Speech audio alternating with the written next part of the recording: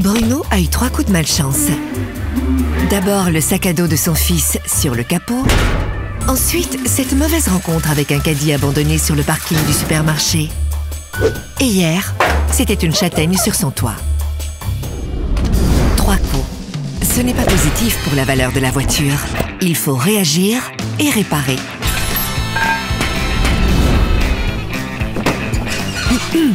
Bruno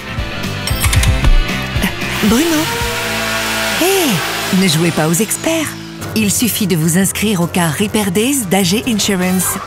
Les bosses qui ne dépassent pas la taille d'une pièce de 2 euros sont réparées.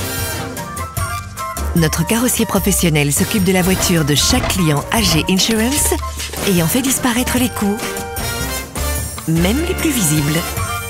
Inscrivez-vous vite au Car Repair Days d'AG Insurance au Brussels Kart Expo du 22 au 24 juin.